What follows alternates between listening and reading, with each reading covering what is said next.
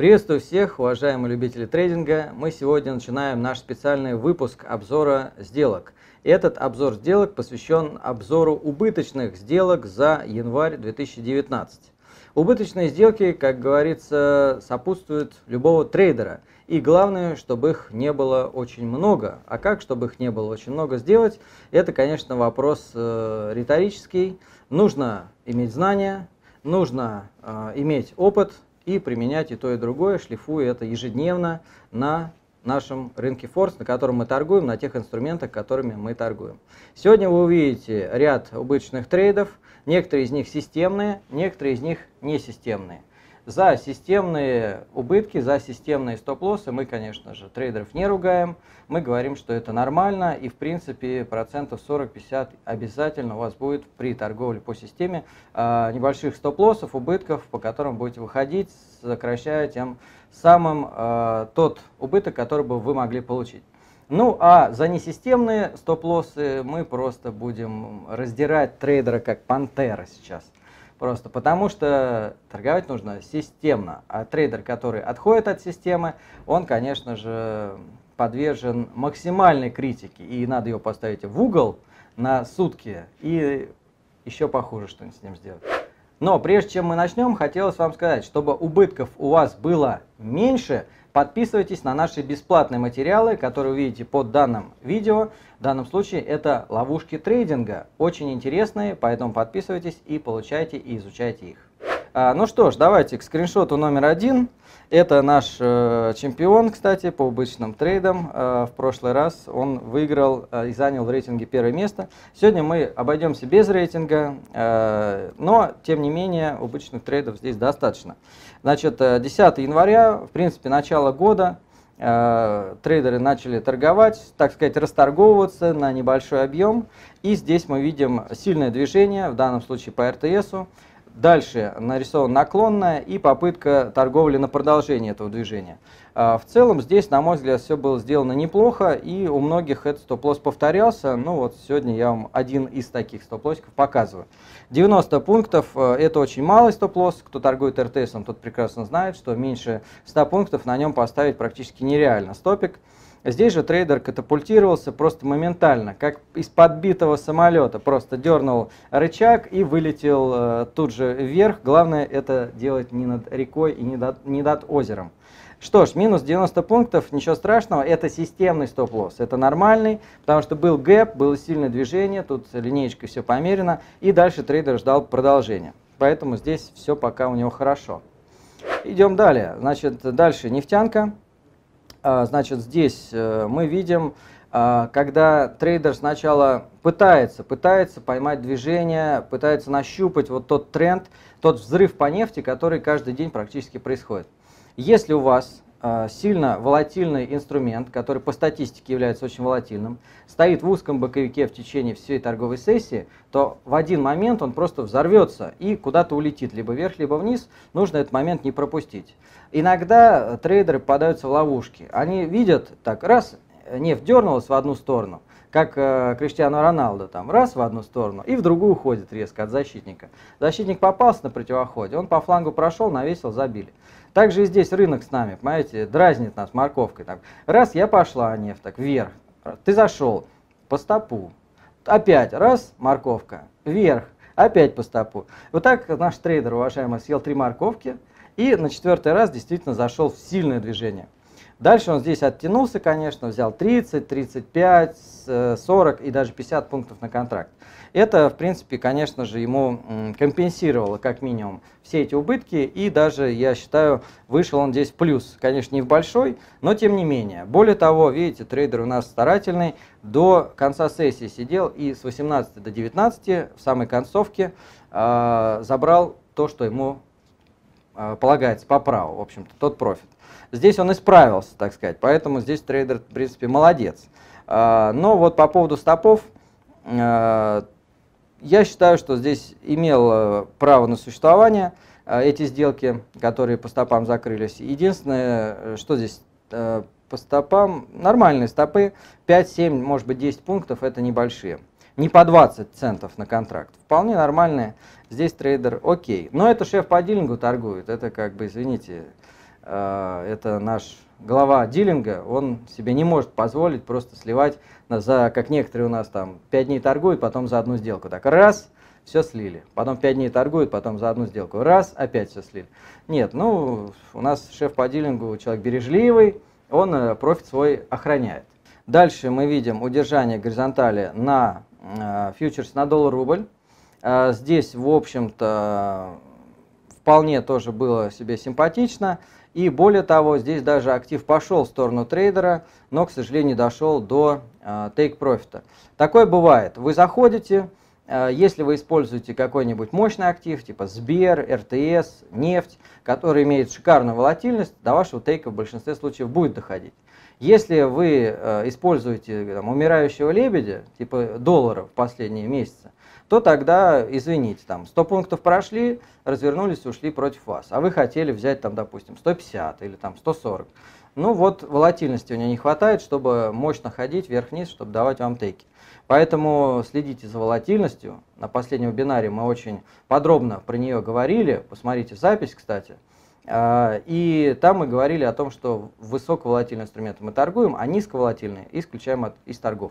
К таким относится доллар последний месяц. А, дальше опять пытается торговать против э, тенденции. А, позицию заходит, вроде двойная вершинка, но какая-то она мелковатая, во-первых. Во-вторых, ну, тенденция идет.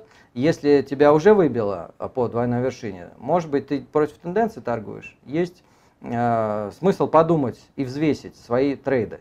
Если у тебя еще и третья будет сделка против тенденции, так вообще можно торги э, закрывать, как говорится, сушите весла, потому что ты явно сегодня настроен вниз, а тенденция идет наверх.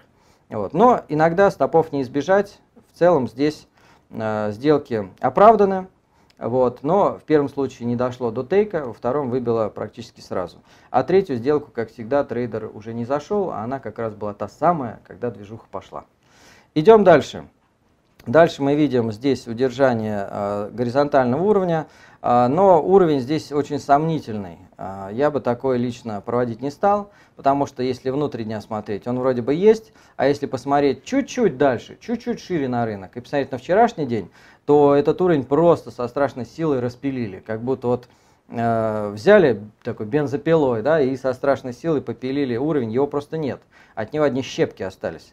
Поэтому в данной ситуации уровень сомнительный, от него заходить, конечно, сложновато, э, я бы лично не стал. Но трейдеры у нас э, хотят добиться успеха в любой ситуации. В сомнительной, в уверенной, там, где большой стоп-лосс, там, где маленький. Об этом многие не думают, заходят во все подряд, в итоге получают стопы.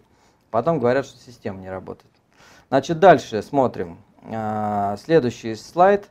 У нас 25 число. Э, значит, здесь в начале дня было типа там удержание горизонтали с недоходом. Э, трейдер отметил, но не заходил. Потом был пробой длинного тренда. Э, трейдер отметил, но не заходил. И потом, когда трейдер дозрел уже к 12 часам, ну, начал заходить. Первая попытка входа от уровня вечерней сессии, даже не вечерней, а вчерашнего середины дня по стопу не знаю, э, что за уровень, такого уровня на самом деле нету, он очень слабый. И вот дальше уже, когда трейдер перезаход осуществляет, вот здесь уже уровень интереснее, это как минимум максимум дня был, который пробили и дальше от него опять разворачиваются. Здесь он исправился, то есть вот мне очень нравится, когда стопы, а потом трейдер исправляется. А не так, что стоп, стоп, стоп, руки опустил и, и все, и пошел плакать домой. Нет, вот мужской характер. Стоп-лосс накосячил, неправильно сделал, исправился по системе, до конца дня проработал, все. В итоге даже из самой там, критичной ситуации можно попытаться вырулить э, либо в меньший убыток, либо в ноль. Значит, э, здесь со второй попытки исправился, нормально, а потом опять против тенденции. Мощнейшее движение, но против тенденции трейдер продолжает торговать. Заход, опять стоп-лосс. И дальше тест уровня, ну, здесь мне неизведанно, ну, трейдер нашел, нужно смотреть предыдущие торговые сессии, что за уровень. Там тест уровень у нас такое, конечно, понятия нет. Но иногда трейдеры э, новые какие-то формации изобретают. Для меня прям удивительно, интересно даже. Э, вот здесь что-то из этого. Дальше следует «Газпром», фьючерс, трехминутный масштаб. Здесь, э, в принципе, по классике все. Системная сделка, системный стоп-лосс. Удержание горизонтали, с обратной стороны, зеркальный уровень. А, ты, э, взята позиция открыта, стоп 11 пунктов. А когда стопы очень маленькие, я говорю, заходите, прям не бойтесь даже если вы сомневаетесь в формации, если стоп очень маленький, это очень важно, риск-менеджмент, то тогда можно зайти почти в любой сигнал. Ну, 11 пунктов по «Газпрому» это просто пару монет на чай вы дали, вот, и все. Значит, дальше. Сбербанк у нас э, на хаях. Вот это, кстати, классная сделка. Здесь прям вот я делал бы то же самое. Вот прям вот то же самое. Потому что есть хай вчерашнего дня, удержали, лимиткой вход, стоп маленький, сокращен, отлично. То есть здесь э, Сбербанк просто мог совершенно спокойно э, идти вниз, возвращаясь как бы э, внутрь вот этого боковика, в котором он и находился. Но, увы, Сбер такой актив, который сидит, сидит, сидит, сидит, потом клетка открывается и просто лев из нее вырывается, проходя там по 5-10% за несколько дней. Вы наверняка об этом узнаете. В 2018 году Сбер не давал расслабиться никому и даже отобрал у нефти майку лидерства в рейтинге волатильности. А, едем дальше. А, нефтянка у нас. А, ну, здесь трейдер что-то много сделок совершил. Здесь э, вначале открылся, потом перевернулся, потом закрыл плюс 30 пунктов. Начало дня такое ярко выраженное. Потом искал точку входа на пробой тренда. И здесь вот он попался. То есть, несмотря на то, что день у него плюсовой, а, но здесь хотелось показать вот эту суету, а также неправильный выбор э, формации, который вообще стоит торговать. Вот мы э, что пропагандируем? Активный интрадей, то есть торговля внутри дня. Утром на чемоданах, вечером на чемоданах. То есть вы в кэше должны просыпаться и в кэше ложиться спать. А, просто представил такую ванну, вся в 100 долларов купюрах, и вы там ложитесь на подушечку. Ну, примерно так. А днем ванна пустеет, все деньги на бирже, вы на них торгуете. И вы торгуете когда? Нужно торговать внутри дня, система внутридневная, внутридневный формат, там консолидации, ретесты, треугольники и так далее. Но если трейдер переходит как бы в другой а, немножко масштаб начинает торговать между дневной формацией, тут происходит ерунда.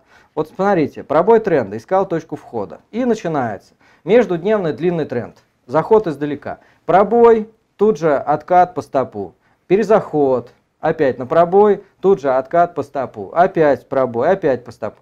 И на самом деле представьте, что вот эта а, консолидация актива, она продлилась бы еще часик. Но трейдер бы вообще весь депозит слил. Опять заход по стопу, заход по стопу, знаете, так заклинило. Раз, два, раз, два, раз, два. В итоге половины депозита нет. То есть вот в чем дело. Во-первых, не нужно проявлять упорство, потому что рынок все равно будет э, жестче ногу ставить, да, все равно он будет более упертым, поэтому вы его не победите тем самым. А, во-вторых, если у вас несколько подряд э, стопов, ну подождите, сделайте паузу. И в-третьих, э, междудневной формации для междудневных трейдеров не нужно суетиться и пытаться и по-всякому торговать, и внутри дня, и между дней. И я на опционах, и на криптовалютах, и как вот на пианино, на разных синтезаторах как э, известные музыканты. Нет, у нас с вами пока такого, наверное, таланта еще нету, чтобы до такого уровня дойти. Едем дальше. Здесь, в принципе, вот этот нюанс хотел э, вам показать. Дальше нефть трехминутный масштаб. Мы видим э, два удара. Первый утром 9 числа удар, потом э, проторговка боковая, и потом, смотрите, в 12.30 еще один удар на больших объемах. Э, и здесь после него трейдер хотел на движуху попасть. Ну, некоторые хотят на поезд попасть Москва-Сочи, приехав на нашу конференцию 2 марта. А кто-то хочет попасть в движух после ГЭПа. И на этой движухе после ГЭПа его тут же поймали в обратную сторону, по стопу. Здесь, кстати, двойная вершинка была, зря он не вышел. Но мы уже с ним об этом поговорили. И дальше проводит уже наклонную, более, так сказать, пологую, посерьезней. И здесь заходит э, вверх, э, в итоге закрывая позицию, при развороте от круглого уровня, ну, действительно, 60 долларов за баррель.